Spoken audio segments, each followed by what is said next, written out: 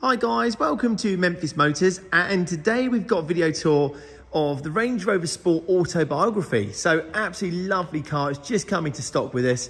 Um, and as many, as you, many of you know, we do we specialise in Jaguar Land Rover. So we've had a bit of diversity in our stock lately, so it's just really nice to be back filming a Range Rover Sport. But uh, this is a lovely one on a 61 plate, early 2012 model. Range Rover Sport Autobiography. It's got some nice detailing, which I'll go through and it's a really lovely car. So just thought I'd do a quick video tour. I'm gonna just wander you around the car once, um, then we'll go back around it for a second time, just go through it in more detail. We'll kind of run through the spec of the car, any imperfections, but to be fair, it's in really nice condition. It's been looked after. Um, just finding these videos really useful. I know I sort of say this a lot on our channel, but a lot of our customers now looking to buy cars from us online with us delivering them and it's just a nice way. If you've had a video tour of the car, you just feel a little bit more in control of the process. You're not just relying on photographs or perhaps our say so for it. And it's just nice if you've actually had a bit more of a comprehensive look and you do buy it online, when it comes, you can get excited. You're not sort of nervous that you've missed out on something. Um, also, you know, we love people coming to see us. You know, welcome to come down here to Memphis Motors, have a look at the cars. Um, but we appreciate you know, there's a lot of travel involved. There's time, there's money, there is expense, and there's different ones out there in the market. And no one wants to travel and commit to then turning up and it's not what you thought it would be. So we'd much rather sort of just, you can watch this video first and make your judgment as to whether you want to come or not. So there we go. Now, before I get into the main video, all of our cars, they all go through a full 41 point health check with our technicians. Um, make sure they're good. Anything that's picked up on will be done. We will also run this car through a new MOT, so it'll come with a brand new 12-month MOT. Uh, we'll do a brand new service, um, and it comes with a three-month warranty, which you can extend. So it's a lot of money to spend, but you know you've got warranty, service, MOT, and health check, so hopefully you've got the confidence. Now, what we'll do, we'll have a really good look at the car. Before I get going with it, it's got full service history, loads of paperwork, loads of stamps. It's got two keys. It's got the cam belt that's been changed as well, which is really important on one of these. So if you read through the advert that comes with this car, you can just sort of read a bit more about it. And obviously you can ask us any questions, but it's got a brilliant history with it. So let's get into it. Let's start down the driver's side and work round. So if we get nice and low on the car, um, really, really clean, you know, lovely down the car. There's no dings, there's no dents. All the shut lines are where we'd want them to be. The car incidentally is HPI clear, so if you want to see a copy of that, let us know. We can email it through or you can see it on the day. But yes, super, super clean down there. Really nice. The paintwork's lovely as well. Coming down onto the front tyre here. So we've got a really nice, obviously an autobiography alloy wheel here. Um, diamond cut in super condition. Um, yeah, I was had a look at them, uh, had a look around at them earlier, and there's barely any marks on them at all. This one, I think, looking from what I can see, is pretty much perfect, but really nice diamond cut. You know, you've got the chrome with the uh, with the sort of the graphite grey in the middle and, and on the inserts. You've got the really nice red caliper shining through. So just very, very nice. Discs and pads look great on the car. Tyres look really good on the car. But again, what we'll do, the technicians, that's just a visual inspection. The technicians will check tyres, brakes, discs, suspension. If anything needs doing, it'll be done. But certainly visually, it all looks really good. Tyres have got loads of tread on them. They're matching all around the car, which is important on a four-wheel drive.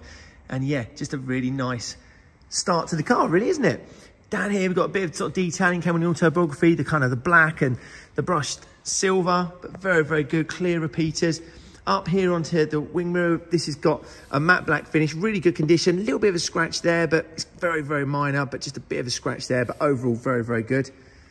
Car itself is gorgeous. You've got keyless entry, so as long as your keys are on you in your pocket or in your bag, whatever, you can walk up to the car, you can either open it or you can press this button here to lock it and unlock it. Quite useful, you know, if it's raining or you can't find your, your keys or you've got loads of shopping on you, it's a nice feature on the car. Got the side seals down there on the side, looking really good. Everything's very, very clean. Coming down here on the door line, very good down here. No annoying little sort of dings or dents or, you know, where you open the door into things. So it's very, very clean. Onto the rear door there, getting nice and close. Paintwork is lovely on the car. So I don't know if it's been garaged or just regularly washed and looked after, but it's gleaming. So very, very nice. Again, keyless entry on the back. Just check the door shut. Really nice. No issues at all. Really clean. A little bit, I know it's just a bit of dirt there, so it's very good. Onto the alloy wheel at the rear, again, matching tyres to the front, loads of tread on them, but they'll be checked. That alloy, good condition, a couple of little scuffs on it, a little one around the 12 o'clock mark and the 7 o'clock mark, but other than that, pretty perfect. Again, red calipers on the back as well, which I just think sets the car off. Nice round the fuel. filler housing. We've got a little bit of a black mark here, just on the paint. It's not massive. You can always touch it in, just, just chipped away a little bit there. Probably stones flicked up, I would have thought. But uh, it's not major. Let you step away from the car and you can't even really see it. But again, these videos are here to show you everything that we see. And that's the whole idea. Onto the back of the car. I love the autobiographies. You can always tell them, obviously you've got the badge on them, but looking at the way the exhaust come out the back, the exit system with the sort of cube uh, exhaust tailpipes, they just is how you can really tell an autobiography and they just look quite menacing. Um, what's really nice on this car is someone has actually just done a bit of detailing on it. Uh, so this part here is been wrapped or sprayed, but done a really nice job in matte black, as has the roof. So the, that wasn't standard. So someone's actually done the roof black and they've done a really lovely job on it. It's really, really clean. It works so well. So we've then got a nice black contrast through the roof into the paintwork. A lot of the autobiographies in white have got the white roof, but when you've got the black detailing, it just really works on the car. All the lettering's been taken off as well.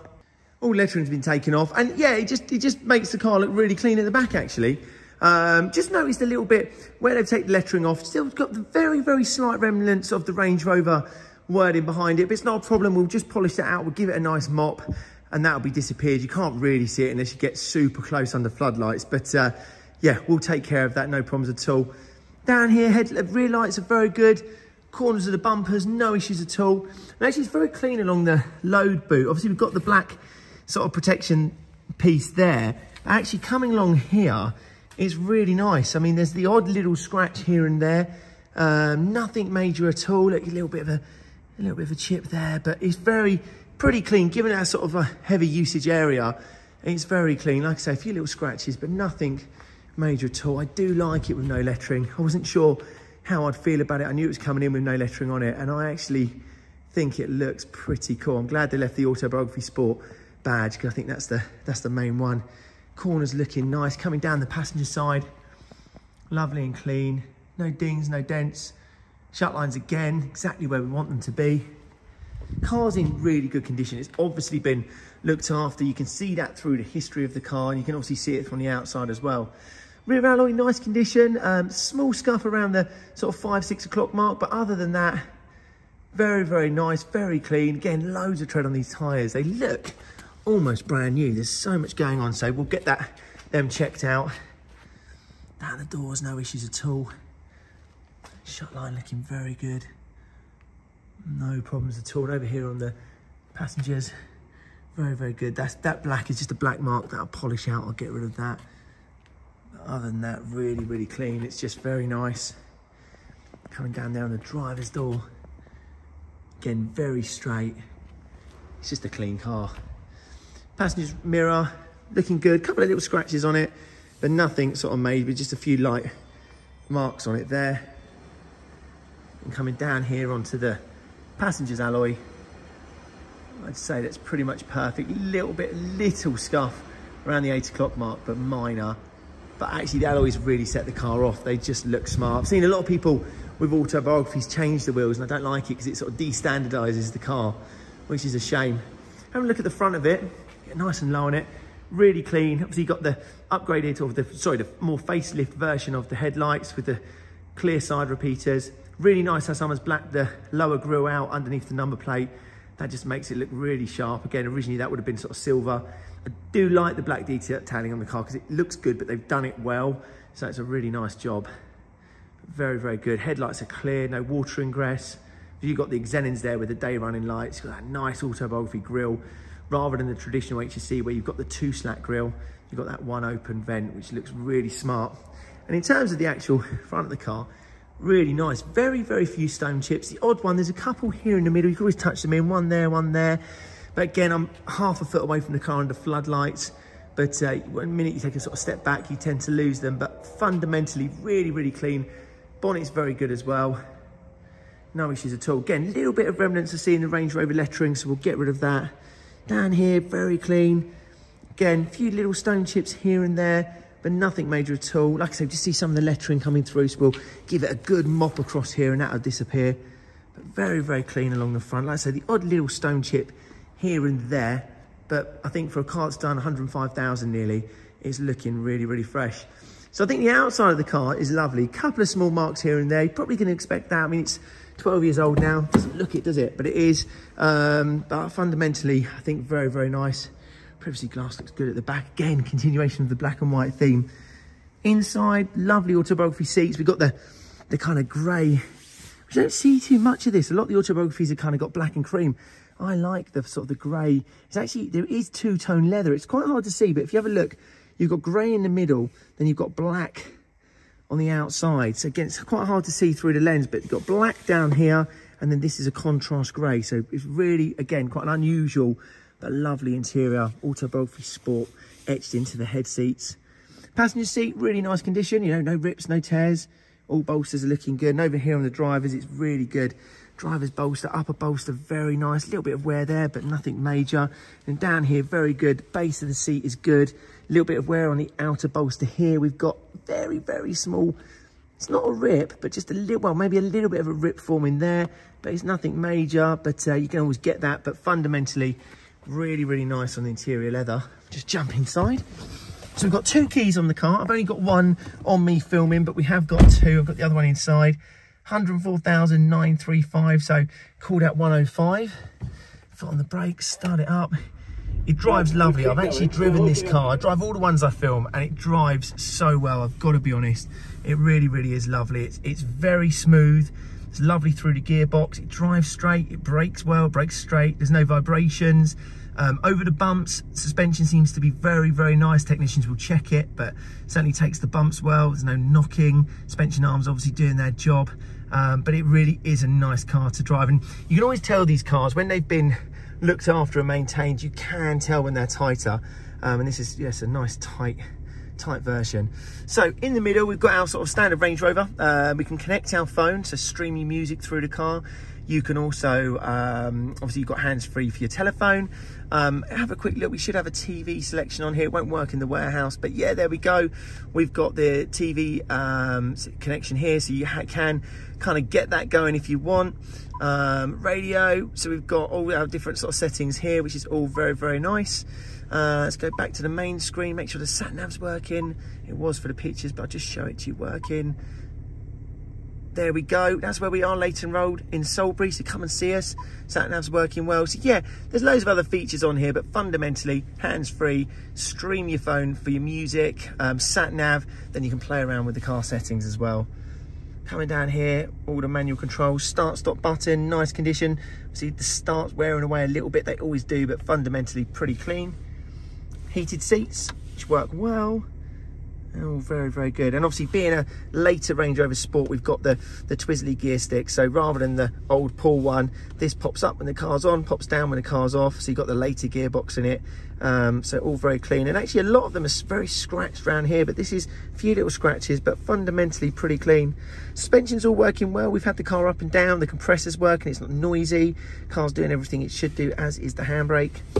Center console, really good condition. We should have our fridge, yeah, our fridge box in there. If you've had a fridge box before, I always say you always are gonna want one.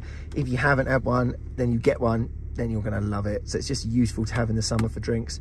USB and iPod connection. Doubt anyone uses the iPod, but the USB is helpful. Um, down here, armrest, nice condition on the passengers. Check the drivers. Really, really nice. Very, very good. No issues at all. Then over here, looking really good. We've got the leather dash up here. Um, all very, very good. Etch stitching along here. So it's very, very clean indeed. And then we come along the side and we've got the autobiography written into the sides. Just nice detail in the ambient lighting. We've got the upgraded Harman Kardon sound system as well.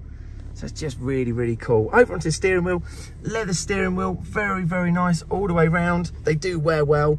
We've got adaptive cruise control, so not just cruise control, adaptive on the left, hands-free on the right, and then there we've got the all-important heated steering wheel, which is a great selling feature, but is also just nice to have. Automatic lights, automatic windows, wipers, not windows, sorry, wipers, We've got electric windows. We've got electric memory seats for the driver, electric seats for the passenger and electric memory seats for the driver. So yeah, very, very good. The car smells nice. Doesn't smell of pets in there at all. It smells nice and fresh. Then coming into the rear of the car, nice condition. Doesn't look like it's been used much stroke at all. Isofix points. Again, a continuation of the two-tone leather. heated seats down there for your guests. So it's just a really nice place to be. And again, just small things. You've got like, like the stitching that you've got on the dashboard. You've got stitching around the leather, the autobiography in the sides. Just loads of little details that you don't get on the standard HSEs. Just open the boot up. I've confused it. So let me just get this boot open. It was working earlier. I think I've just completely confused that. Oh, there we go. I was pressing the wrong button. Boot's working well. Parcel shelf is present. Nice and clean in the boot. Hasn't had a hard life. So it's always good to see. I think you can tell so much from the boots. They're covered in dog hair and sort of rubbish and you always question what the car's been used for, but nice and clean. So there we go, that's the video tour. I hope that helps. Hope that's a useful tour of the car. Um, I obviously, if you need more areas of the car filmed or photographed, let us know. We're more than happy to help. If you're looking at a delivery, we just need to know postcode. We can get you an ETA on when we get the car to you. We can turn things around pretty quick and a price on delivery or if you're hoping to come and see the car with us, we'd love to show it to you. We are by appointment, so do phone ahead just to make sure we're here. We normally are, but don't want you to be disappointed. So there we go. I hope that helps. Yeah, like I say, give us a call. You can email us, WhatsApp us, or message us. We'll always come back to you. But for everyone else, thanks so much for watching.